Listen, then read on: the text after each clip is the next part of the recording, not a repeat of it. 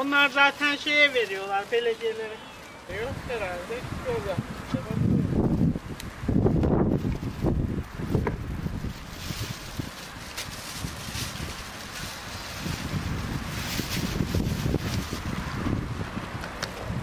Hadi gelin çocuklar. Salam. Salam.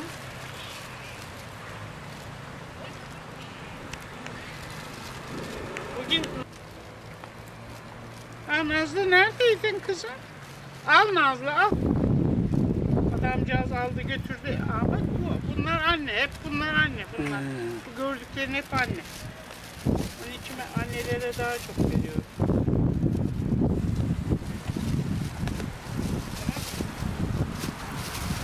Al kız.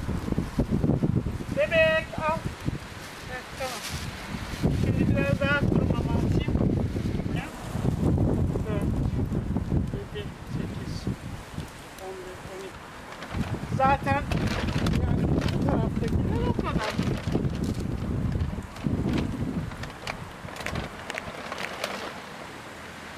Geçen bir arkadaş vardı, o da besliyordu, o taşındı şeye, Pelitköy'e.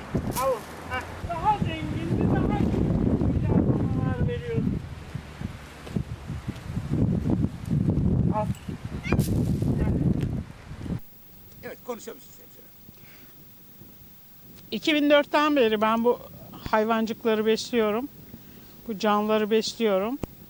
Ee, muntazam olarak bana alıştılar. Geliyorum e, günün belli saatinde, ö- genellikle öğleden sonra. Ama günde bir defa gelebiliyorum. Çünkü mamalar çok pahalandı.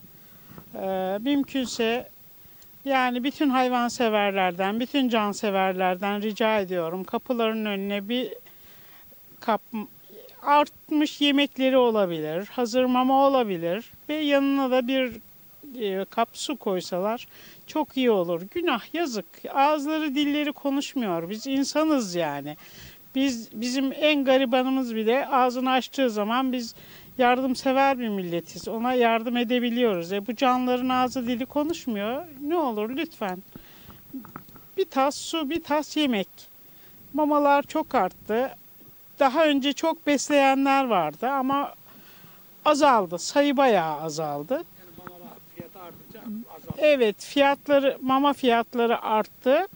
Onun için besleyen çok azaldı.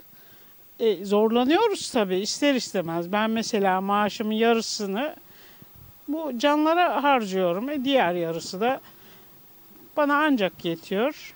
Zorlanıyoruz. Mümkünse yardım edelim, yardımcı olalım. Başka düştü diye dokunmadı. E insan